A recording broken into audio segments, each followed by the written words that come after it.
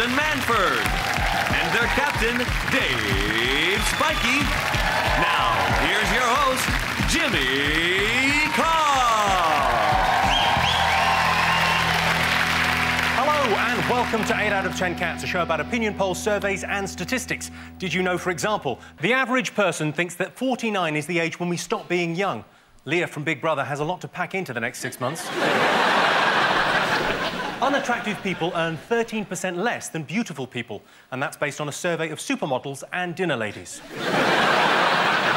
and 95% of creatures on Earth are smaller than a chicken's egg. So when I think about it, I've actually got quite a big cock. Let's get started.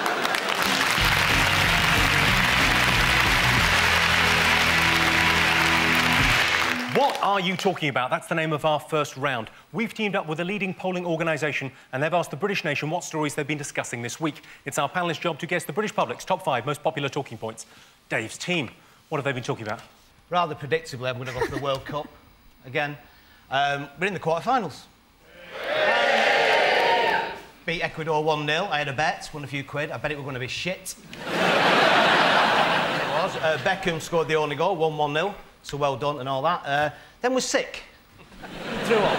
And I'm wondering whether it was just like he's run out of celebrations. Footballers invent celebrations all the time. so he'd done the baby thing. I've done that one. I've done the kissing the shirt and all that. I've done all that. I know what. Oh, fuck it. Oh. If they'd have panned away to the corner flag, Wayne Rooney's having a dump. That's. My favourite aspects of the World Cup has been the recurrent appearance of uh, Frank Lampard's disappointed face. As he keeps putting the ball wide and then he goes... Jason, any thoughts on the World Cup? I just think they've got all a bit soft, to be honest, all these footballers. So many fouls and free kicks and all the time just all diving over at my ankle. I've done... There was a bloke the other day for Ghana who was out because of a, a dead leg. Now, that's not an injury, is it, a dead leg? That's, that's a minor annoyance. When I was 10, I had three dead legs in one day. I still had to do PE and walk home. Motson came up trumps again, though. I know I do it every week, but another... Ecuador brought a substitute on. He's got his list of facts, and he goes, oh, you go. Oh, he's bringing on Rodriguez. Oh, uh, interestingly enough, this is the smallest man in the world. Cup. There's been a bit of trouble as well, wasn't there? Some England fans kicked off. There was finally there's some trouble. Everyone saying that England fans behaving very well, and there was a bit of trouble. I, I saw it coming because uh, before the World Cup, I saw near me uh, there was a driving range adapted for chairs. They were practicing like that. Just warming up for the World Cup. If they had a World Cup in Sweden, there'd be no end of a vast variety of furniture to choose from. What are we throwing? Hoogar. All right, OK. That's an integrated shelving system. But I was surprised about the Wags actually and all the footage on them. And I think is it that England are playing so shit that they have to do, keep doing cutaways of Posh in the crowd. She's got a mate, hasn't she? Because they've all fallen out. Cheryl Tweedy.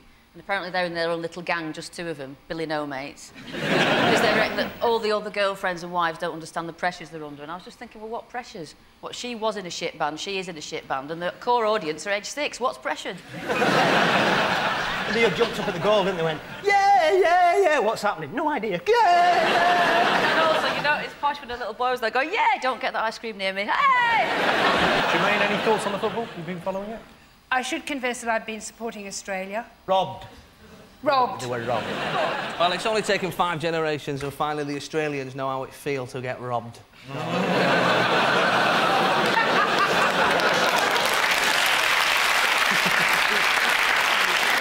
Right, well, let's have a look and see if the World Cup is one of the top five talking points. I imagine it is. In with a bullet at number one. Yes, England are still in the World Cup. There's been a lot of competition between the wags, or wives and girlfriends, in a series of fantasies I've been having. right, Sean, Germaine, and Phill, what have the nation been talking about this week? My favourite story of the week is the man who just chose to uh, sort out a problem with a digger. It's always the first way, isn't it? Yeah, he owed them some money. He used to have a, ca- they had a caravan site, and didn't pay their rent. And they sent him a letter. They said, well, you know, you owe us a thousand pounds actually in something. And he went, I'll show you a thousand pounds. And he came back with a digger and smashed their house up and all their cars. Do you want to have a look and see what the damage was? Yeah. Yeah, yeah, now, you see, to us, that is a photograph of terrible, terrible devastation. But to him, as a man that drives heavy plant, that's a bit like a CV or a calling card. Yeah. apparently he's very calm. Everyone said he was driving, he's very calm. Well, I like the idea that. When the police got him out, he was going, it's all right, I've got the hang of it now. didn't do it first, but it's easy, that's left. But didn't, didn't, didn't he rent it as well? Didn't he rent Yeah. the... Uh, the th he, so he, hi- he spent 450 quid hiring it. And they should have known when they're looking at the form, they're going, hang on, he's ticked the box for revenge.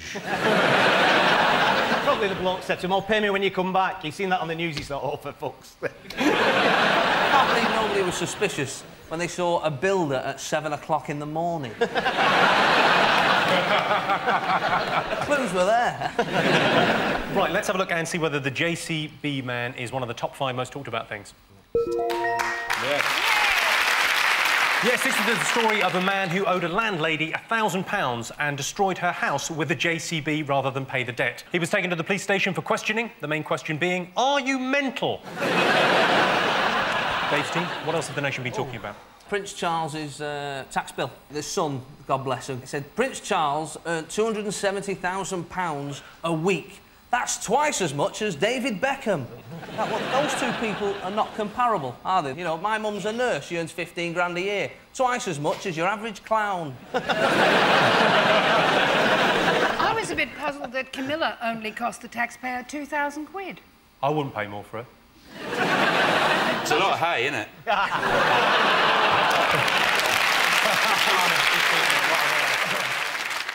if we do win the World Cup and she goes to meet all the footballers and she's shaking, you know, shaking Wayne Rooney's hand and it's just a picture of them in the paper saying Donkey and Shrek.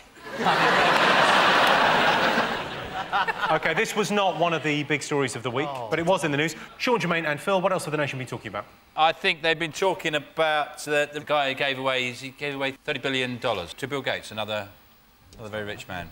He gave it to the Bill Gates Foundation. Yes. Is the man's name Warren Buffett? Warren Buffet. is uh, where he made his money. He invented the buffet, and, and he gets a percentage on every buffet that's ever held. Well, some would say it was, bought, it was invented by Laszlo Smorgasbord. but he never patented it. I like the idea of, of, of what sort of thank you he expected. Because you hand someone that much money, you expect pretty big thank you, don't you? You expect someone to go, oh, oh, thank you. And I like that Bill Gates went, oh, cheers, I'll just leave it there. How long did it take him to put it in the head of one of them orphans at a service station? he used two pound coins. Not a real orphan, obviously. No, not a real orphan. well, you know, who are they going to tell? Well, that's your answer. Let's have a look and see whether it's up there. Yes, it is. Yes, the world's second richest man, Warren Buffett, has given $31 billion to charity. Bill Gates said he would use the money wisely before setting out on his mission to the centre of the earth to discover a lost nation of cats. well, Sean's team, what else have the nation been talking about this week? Is it the chocolates? Cadbury's have, rel- have uh, called back a load of chocolate bars because they said they were, had salmonella in them. 250 million? Yeah, something like that, doesn't matter really. A huge number. Once you've gone over 10, I just lose. Do I get too excited? How much chocolate? They're also saying something which is pretty barmy. They're saying, well, there's not a lot of salmonella in them. There's just a little just enough. bit. It's not going to spoil your meal. That's a dream diet, isn't it, for Posh Spice, that? You eat that chocolate, wait for 20 minutes for it to kick in, throw your guts up, wait another 20 minutes, and then all through the night, every 20 minutes you throw up, morning, one stone lighter. What a diet. Apparently, the weekend it really affected sales of uh, chocolate. Nobody people were buying box of chocolates as presents, as presents for ladies or anything like that, because all because the lady loves a month off work. Let's see if it's there. Let's see. Yes, Cadbury's have recalled more than one million chocolate bars because of a feared salmonella contamination. The cause of the salmonella outbreak was a leaking pipe, which is ironically also one of the symptoms. OK, one more thing to get. Fingers on buzzers. What else have the nation been talking about? Wimbledon, disappointment for British fans. Tim Henman's out. I think actually Tim Henman going out of Wimbledon is the true meaning of sport relief. oh, my God for that. Apparently he's going to come out. He's going to be a coach now, isn't he? Coach driver, I He's going to be a said. coach. You're not going to send your kids to that man as a coach, are you? Right, go out there and underachieve. They're renaming, uh, they're saying that we're going to stop calling it Henman Hill and we're going to change it to Murray Mound. That's what they said in the paper. I thought if they just changed it to Shit Heap, that could be all of them.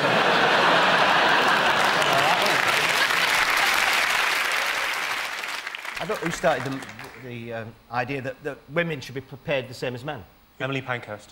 No, I, It was Venus Williams. was it Venus Williams? Because Andy Murray's jumped. Uh, he's, he's come the other way and said they shouldn't because they don't play five sets. Not only do they get paid less, they don't get a trophy. They just get a plate. But it does fit in a dishwasher. no, I thought the real telling thing was, uh, did you see David, David Cameron on Jonathan Ross? And he's such a sort of publicity junkie now. And uh, they had Martina Navratilova on. And Jonathan Ross cut to the green room where David Cameron said, what did you think about it? He goes, yes, I think we should definitely look into it. don't worry, I'll sort that out. Any problems, I'll sort them out, like he's fucking Batman. Well, shall we have a look and see whether Wimbledon is one of the most talked about things this week? Yes, of course it is. Yes, Wimbledon started this week. Of course, it is nearly 30 years since a British lesbian won at Wimbledon. right, well, at the end of that round, I can tell you that Sean, Phill, and Germaine have three points, Dave, Fiona, and Jason have two points. The next round is called the Poll with a Hole. We've looked through hundreds of surveys, past and present, from around the world and unearthed some fascinating facts. Unfortunately, each statistic is missing one salient piece of information, so it's up to our panellists to fill in the gaps. Here's your first question. One in ten families have fallen out over what? The DNA results. Is it one in ten families have fallen out over the front doorstep? How many times have I told you about that? He's in the paedophile in the loft. Stop feeding him! we need the rent. he comes down at night. He's all right. Is it that, sir? No, it isn't. That. Is it that, Mr. Carr? I think it's the will. Correct. Yes, one in ten families has fallen out over a will. Sean, Phill, and Germaine, here's your next one. 7% of museum visitors have what? 7% of museum visitors have lost their virginity in the rib cage of a Triceratops. I reckon it's 7% of museum visitors have touched an exhibit. You're devilishly close with that. 7%. They don't oh, like it when you touch stuff in museums, do they? Hate it when you go and touch everything. Except that I was once in a museum in Florence, which is the archaeological museum. It's got this amazing male torso, great big muscly thing. And I thought the, the guard wasn't there when I was there. And I hopped up on the plinth and had a, a rub up against it in my silk dress. And then I realised that the guard was hiding behind another sculpture because lots of girls were doing that. And he was getting off on it, Yeah. hiding in the I know corner. why he was hiding. So it's probably What I like to do is I like to heckle the uh, guided tours. He's lying! Pharaohs, they're from Ireland! Come on, have a proper guess then. 7% of museum visitors have what? I've wondered what it was like in the olden days. I wonder. Slightly more than touching something. Smashed it. I'll give you that, yeah. Good one. Yes, 7% of museum visitors have knocked something over. Fair enough. Out of the way, Grandma. I've got some art to see. so, at the end of that round, I can tell you it's four points for Sean's team and five points for Dave's team. The next round is Believe It or Not. In this round, I'll give the panellists a simple statement, and all they have to do is decide whether they think it's true or false. Dave, Fiona, and Jason are to go first. To oh. illustrate their statistic, let's have a look at a clip of an animal psychic channeling the spirit of a dolphin.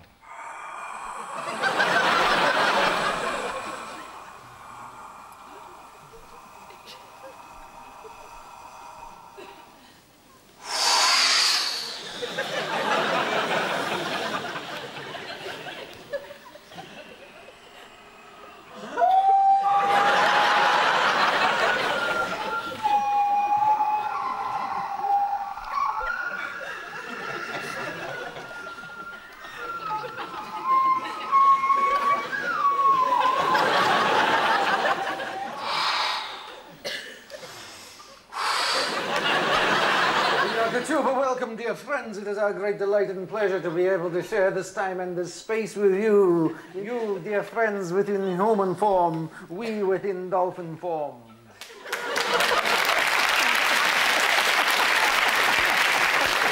Okay, here is your related statistic. 52% of Brits would like to be reincarnated as a dolphin rather than any other animal. True or false? I don't know why anybody would want to come back as an animal. you know, we're, we're human. Uh, you know, we're the best animal in the world. As a human, I only want to come back as a human because I'm number one or a unicorn. I'm not sure you get no, because people love horses, don't they? They love horses. Imagine how much they'd love a flying horse. Imagine that. and if they didn't love you, fly off. It's a very good point, Jason. What, what would you guys want to come back as? I could probably come back as a daddy longlegs, live for six hours and some fucker pulls your wings off. my? Or I'd come back as a dolphin in, in, in a fish pool in Blackpool. Yeah. Somebody going, right, you, jumper, you won't get a fucking pilchard. Dolphins have got the edge for me, I think. They are very sexually active dolphins. They have group sex. They do all that. And the actual, the, the penis is prehensile. They can pick stuff up and carry it. That's brilliant, that. That's like a bit of flower arranging. Look at that. Germaine, what would you come back with? Uh, I will come back as a host of recycled nutrients, fungus and bacteria, and that suits me fine. You know, it's a comedy show, Good. 52% of Brits would like to be reincarnated as a dolphin rather than any other animal. True or false? Well, we're having a round now. False. false. So you're going for false? 2-1. False. OK. Well, I can tell you that the answer is false. Ah! Yes, it's actually 13% that would like to come back as a dolphin. Of course, lots of people don't believe in reincarnation, but I think you may as well. You only live once. right, OK. Sean, Phill and Germaine, let's have a look at a clip to illustrate your statistic. 720. $720. All our bids are locked in. Good luck to you all. Our prize, 799 Merry Wings.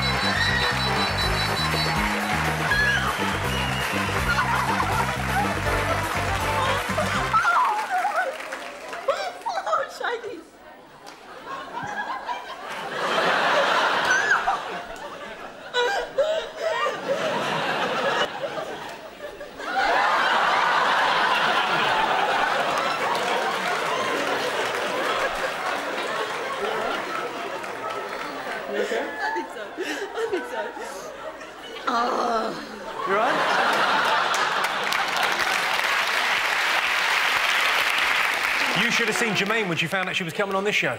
that was the Australian prices. Right. Here is your related statistic. 67% of game show contestants describe appearing on television as the most exciting thing that has ever happened to them. True or false? She looked horrified. She's like she's been given, uh, you know, tickets for a dinner with Mick Hucknall or something. it's called hysterics, isn't it? it yeah. They should have slugged her. Bam would have put an end to that. Yeah. What, what, what kind of a feminist are you? I would slug you if you had hysterics. Will you? Do I have to have hysterics? How about if I'm just cheeky? Female eunuch, this. oh, I don't want to be here. the thing about game shows, they always say to contestants, don't they? Don't they? they always say to them, uh, you know, there's a funny thing happened to you once, didn't they? Oh, yeah, yeah, yeah. With biscuits or something. yeah. And there you go, oh, yes, yeah, I bought, uh, bought some uh, rich tea and uh, I got them home and it turned out, I forgot you've got it wrong, actually, but we, we like digestives. those are the news and stories they tell. So you can see that, that actually the anecdotes they have in their life are so pitiful that television probably would blow their minds. Germaine, you were on one, though, weren't you? You were on Big Brother. You, was it the most exciting thing that's ever happened to you? No. What was? Almost anything else. I loathed it, and they make up rules that you consider yourself bound by, and then they change them. And they make it as hard as they can. This was Big Brother, wasn't it? Not your days in Guantanamo.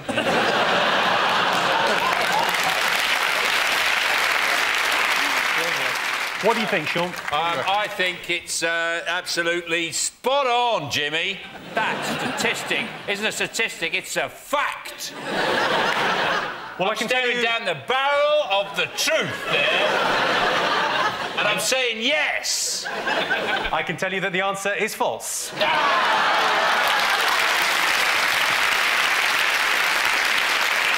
In fact, 16% of game show contestants describe appearing on television ah. as the most exciting thing that has ever happened to them. Oh. Those six- so at the end of that round, I can tell you it's four points for Sean's team and six points for Dave's team. And the winner is, is the name of our final round. I'm going to give the teams a series of opinion polls and surveys. It's up to them to buzz in and tell me who or what they think came top. Here is your first one. The world's worst taste. Crow omelette. Get it, crow. All that. Is it the medicine that your vet prescribed for your horse because he's at stud and he can't get an erection? Is it when uh, you're buttering toast and you get a bit of margarine on your hand and you go, I'll just eat that? Oh, God. ah, Horrible. When you're in a plane and you crash and uh, you're a rugby team in the Andes and uh, you've got to eat each other, like when you're eating, do you go, mm, mm. Dave tastes great! That's good, Dave!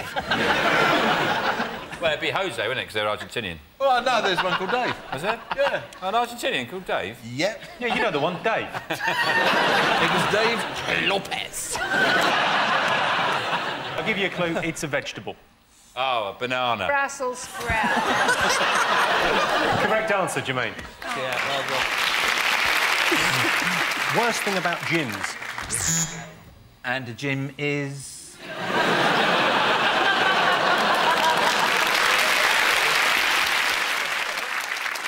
know what I hate about gyms? Everything's so bloody heavy. My you think in this day and age you have to make them so bloody heavy? Let's think about gyms, personal trainers. You don't like personal trainers? No, I don't. One of them said to me, You've got really skinny wrists. If you don't put muscle on there, you might fall over when you're old and break them. So he is an exercise. I think you're. Are you sure he was a gym instructor? was this at school? Do you want to report it to someone? the worst thing about gyms. People laughing at your arms. Yeah, I- you know what? I'm going to give you that. Yes, the worst thing about gyms is feeling inadequate. My gym have a special offer on at the moment. It's £50 a month, or 40 if you promise to never, ever go. Well, that sound tells me it's the end of the round and the end of the show, which means the final scores are Sean, Phill, and Germaine have six points. Dave, Fiona, and Jason are the winners with seven points. Congratulations. To all our panelists, our wonderful studio audience, and to all of you for watching at home. That's it from us. Good night.